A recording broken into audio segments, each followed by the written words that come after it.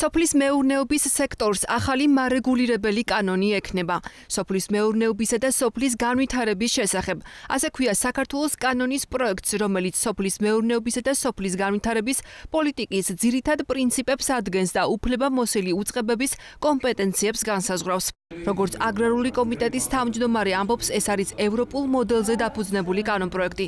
დოკუმენტში პირველად გაჩნდება ფერმერის და ფერმერული მეურნეობების დეფინიციები, ასევე შემოდის ფერმერთა რეესტრის წარმოების პრაქტიკაც. ერთ-ერთი მთავარი სიახლე ეს არის გადამხდელთა სააგენტოს შექმნა, რომელიც როგორც ბიუჯეტიდან, ასევე დონორებიდან მიღებული დაფინანსების მიზნობრივი გამოყენების და კონტროლის ფუნქციას შეასრულებს. კანონით მას ბენეფიციარ სუბიექტ და ინსპექტირების მანდატიც ექნება. როგორც ნინო წილოსანი აცხადებს, ეს იქნება ევროპული სტანდარტის უწყება, რა უფლებამოსილებასაც დღეს სოფლის მეურნეობის სამინისტროს სოფლის განვითარების სააგენტო ფორმირების შემდეგ შეასრულებს.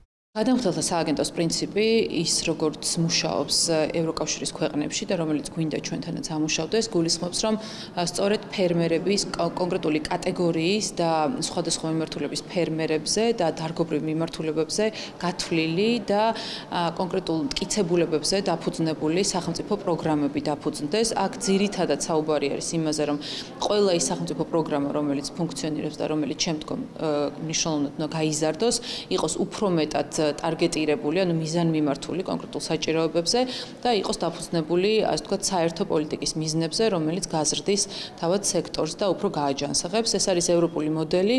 კანონპროექტი ითვალისწინებს ასევე სოფლის მეურნეობისა და სოფლის განვითარების უწყებათა შორის საბჭოს შექმნას, რომლის ერთ-ერთი მთავარი მანდატი სოფლის მეურნეობის განვითარების სტრატეგიის და სამოქმედო გეგმის განახლება და სრულყოფა იქნება. ასევე შეიქმნება ფერმერული მეურნეობების რეესტრი, ანუ ყოველწლიურად განახლებადი მონაცემთა ბაზა, რომლის მიზანიც მართველი ორგანოს მიერ სამიზნე ჯგუფების განსაზღვრა და მხარდამჭერი ღონისძიებების განხორციელება იქნება.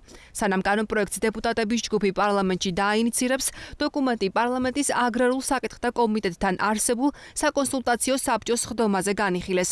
კანონპროექტის ძირითადი პრინციპები ბიზნესისთვის მისაღებია, თუმცა აქვთ შენიშვნებიც. ამ კანონში ნაკლებად ჩანს ადგილობრივი მუნიციპალიტეტების როლი და ფერმერი ყველაზე მეტად სწორედ ადგილობრივ მუნიციპალიტეტთან არის დაკავშირებული და მნიშვნელოვანია რომ ადგილობრივი მუნიციპალიტეტების ჩართულობა იყოს ძალიან მაღალ ასე ვთქვათ მაღალ დონეზე, იმიტომ რომ მათ უფრო ზუსტად იციან რა სჭირდება ფერმერს და ყველაზე მეტად ფერმერი მიმართავს ადგილობრივ მუნიციპალიტეტს და ხშირად მათთვის არ არის გათვალისწინებული არაფერი, იმიტომ რომ ხშირ შემთხვევაში ყველაფერი ცენტრალურ ხელისუფლების მხრიდან ხორციელდება და არ არის დელეგირება გაკეთებული გარკვეულ საკითხებზე. ამიტომ ამ კანონმა ამის საჭიროებაც წარმოშვა და შეგვპირდნენ, რომ ეს საკითხიც იქნება დასმული საჭირო რგოლში. ფერმერთა ასოციაციისთვის სექტორში ევროპულ პრინციპებზე დაფუძნებული ჩარჩო კანონის არსებობა მისაღებია, თუმცა დოკუმენტი როგორც ტექნიკურ, ისე შინაარსობრივ ნაწილში ცვლილებებს კვლავ საჭიროებს. ეს არის ზოგადი ჩარჩო კანონი და მას უნდა მოყვეს ძალიან ბევრი კანონქვემდებარე აქტები და მნიშვნელოვანი იქნება უკვე დეტალებზე მუშაობა კონკრეტულად ამ კანონქვემდებარე актებზე, რომ ну თუნდაც იგივე აზრები გაიყო, ვინ შეიძლება იყოს ფერმერი და ასე შემდეგ, ამიტომ მნიშვნელოვანია უკვე ზუსტად მოხდეს ამ კანონქვემდებარე актებში გაწერა ვინ არის ფერმერი, რა ტიპის ფერმერები ყავს და ასე შემდეგ, იმიტომ რომ ეს არის ის დეტალები, რაც საბოლოოდ სახელმწიფოსაც და თუნდაც კერძო სექტორსთან და დონორ ორგანიზაციებს მისცემს უფრო მეტად ტარგეტირებული პოლიტიკის განსაზღვრის შესაძლებლობას. სოფლის მეურნეობისა და სოფლის განვითარების შესახებ კანონპროექტის საკომიტეტო განხილვები მომავალი წლის თებერვლიდან დაიწყება.